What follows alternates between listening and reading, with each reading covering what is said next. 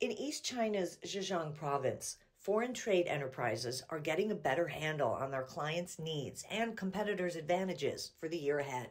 Since China relaxed its COVID 19 control measures in December last year, export oriented companies have been sending representatives to foreign trade fairs in Europe and the US.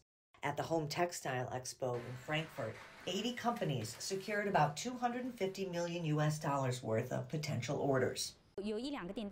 We've already finalized and inked two deals. Production will start soon and the products will be shipped by sea in early April. Still, companies returned home to China with fewer deals than expected.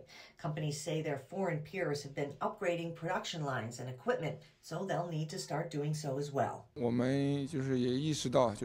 realized that we have to upgrade our equipment and technology to boost our competitive edge. According to official data, Zhejiang Enterprises secured more than 6 billion US dollars worth of tentative export orders by the end of February.